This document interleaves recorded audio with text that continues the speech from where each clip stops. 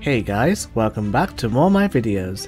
Now since the new Mortal Kombat movie is currently out in HBO Max and theatres, I thought it'd be pretty cool to sort of pitch my idea of what kind of characters could include in the sequel. Now, if you haven't seen the movie yet, please watch this after because it's going to probably contain a lot of spoilers. Alright, now here is my list and enjoy. Johnny Cage. So we all know the big name himself, Mr. Cage, was teased in the end of the movie, as Cole is going to go to Hollywood to sort of convince Cage to sort of help to join the tournament and fight for Earthrealm. Now, I think Cage's role will definitely be a large role, just like in the 995. He will definitely be the comedy relief as Kano was on the first one, and also he was the comedy relief in the original movie as well. I think most of the movie is definitely going to be hitting on Sonya and they're going to sort of have like a romantic sort of on and off relationship, sort of like a Han Solo and Princess Leia sort of thing. But also I hope to see Johnny Cage like sort of come in some good fights and definitely punching some nuts. Kitana. Now, I think Kitana should definitely be part of this movie, and if it's going to be involved with Shao Kahn and if he's like the main bad, it's definitely important to show the Edenia princess. Now, I sort of a great idea how they actually open MK2. Similar to Avengers Infinity War, they should show a flashback of a younger Kitana seeing Shao Kahn invading Edenia, and sort of introduce this main big bad in a very sort of horrific way. And it sort of adds the lore together, just like how Hanzo was killed in the beginning. Now, her role will definitely sort of be similar to Kano, as she's going to be sort of fighting for Outworld, uh, we could say the bad guys. As Kano is fighting for the good guys, he's obviously switched sides. Just like in the games, Kitana will switch sides with, with Raiden and Liu Kang because I think she'll get influenced by them and realizing what she was fighting for was pretty wrong. Sub-Zero. So, we know Bi-Han is the first Sub-Zero, but there's also a second Sub-Zero called Kuai Liang, and he is the younger brother of Bi-Han. So Kuai Liang's role in this movie is kind of similar to the MK2 games, and he's going to be trying to find his brother's killer in the tournament. Now this can set up a big fight scene between him and Scorpion, or either him or Cole Young. So it's going to sort of carry on that feud between the Lin Kuei and the Shirai Ryu. But the difference between Kuai Liang and Bi-Han that Kuai Liang is actually more of a heroic character, but Bi-Han is sort of a villain. And I think later in the film, Kuai Liang sort of realised what Bi-Han's done over the years. He then can sort of join with Raiden and sort of fight for Earthrealm. This will obviously set up MK3, but I think Kuai Liang will realise how corrupted the Lin Kuei was even after taking the mantle to new Sub-Zero. Baraka. Now, as it's going to be part of the tournament, I think Baraka would be a great choice to be part of the villain roster. Now, Baraka would definitely want revenge because of Mileena, and they're pretty loyal to Shang Tsung and Shao Kahn, so they definitely want to fight for Outworld. But I can definitely see some really funny scenes with him and Johnny Cage or Cole Young, and it'll be interesting because to see Baraka's swords and blades coming in live action. Quan Chi. So Quan Chi should maybe have only a small appearance in this movie because we still want to kind of connect to Scorpion's storyline because in the first movie we only get a glimpse of the Netherrealm and Scorpion kind of disappears in the first act of the movie and for the new viewers it doesn't explain why he's in the Netherrealm or how he resurrected and I think Quan Chi is that key. Also he is the bigger foe in the later on in the games and having Quan Chi just his appearance in the movie is just showing that he could become a bigger villain later on in the franchise. Cyrax. Sector. I think it's important to have these two characters in this movie, and the way they should be introduced as as the, how Bi-Han was killed off in the first one, the Lin Kuei are definitely going to get involved, and especially in the tournament, they're definitely going to avenge Bi-Han's death. Now, what would be great having the human Cyrax and Sector, as we not even see the like the robotic forms yet, and they're showing that these great warriors fighting in this tournament. And I guess we get a really cool tease in the later films, right? They're gonna obviously tease at the fact they're gonna be involved with the Cyber Initiative. Skarlet.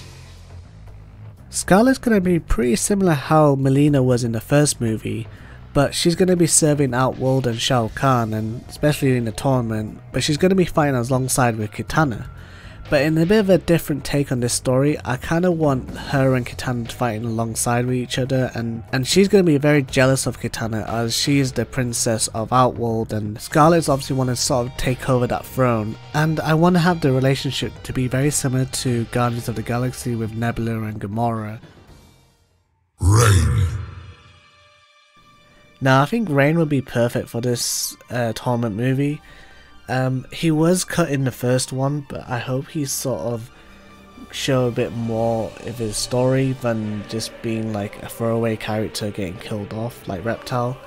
But I think they should keep his lore where he is sort of the half god, um, like prince. But I think uh, Rain would be a perfect warrior fighting us alongside with Shao Kahn and all the Outworld warriors. Kotal Khan. Now, Kotal would definitely should be maybe a general and as alongside as a general for Shao Kahn because we all know in the new games he becomes Khan. And I think he's a great way to sort of expand the universe and adding sort of a evolution of what these characters were like before, similar to how Cyrax and Sector. I think it would be interesting Kotal as a sort of a general but going towards like the games, he obviously becomes new Khan. And I think we want to sort of see that in this movie. But I don't think he should be sort of a fighter, but I think he should be sort of Shao Kahn's sort of right hand guy and becoming his sort of main man. Nightwolf. Now Nightwolf will definitely be a great addition to the roster, but not necessarily a larger role. I think Nightwolf will sort of be part of the tournament and sort of sort of fight alongside with the Earth Realm. Um, but I think his like fights and appearance should be a bit more in the the third film.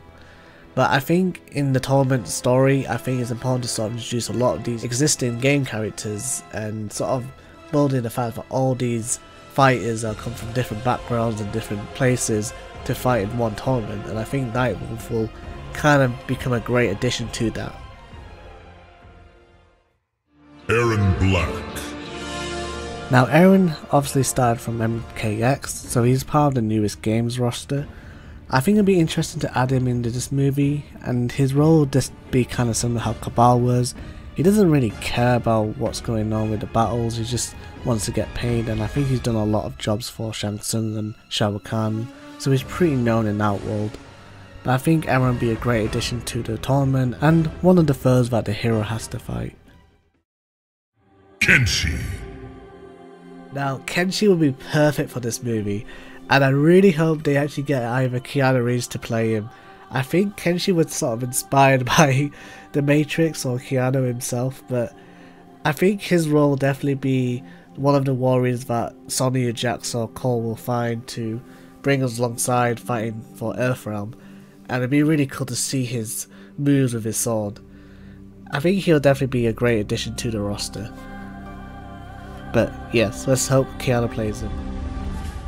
Ermac. So Ermac should sort of be the next big boss, similar to Goro, as Goro was sort of killed off by Cole in the first movie. I think he should sort of take Goro's place. So before you fight Shang Tsung, you have to face Ermac, and that's the way in the tournament, sort of like the ladder. I don't know if it's going to be Liu Kang or Cole going to face Ermac, but he's definitely going to be a very scary foe to face. Shao Kahn. Now, Shao Kahn is definitely need to be in this movie. I don't want him to just be a little reference or just a like a little Easter egg. I think he has a very important role, especially towards Kitana, and I think they should do sort of a Thanos effect, very similar to Guardians of the Galaxy, how they were setting up Thanos and eventually he has his own movie Avengers Infinity War.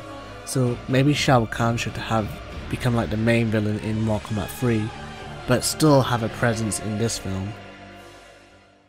Noob Saibot. Now Noob is one of the secret fighters in the MK2 and Ultimate Mortal Kombat 3 game. And a big spoiler, if you haven't played the games, he's actually Bi-Han, the original Sub-Zero. He's sort of a returning character. So Quan Chi actually resurrects him from the Nether Realm while Scorpion kills him before. And I know Joe Taslim signed up for four more movies, so I think it makes sense that he's going to be playing Noob, or some flashbacks with Bi-Han. I think Noob's role definitely kind of involves with Kuai Liang and his role of trying to find his brother's killer, but really he's still alive.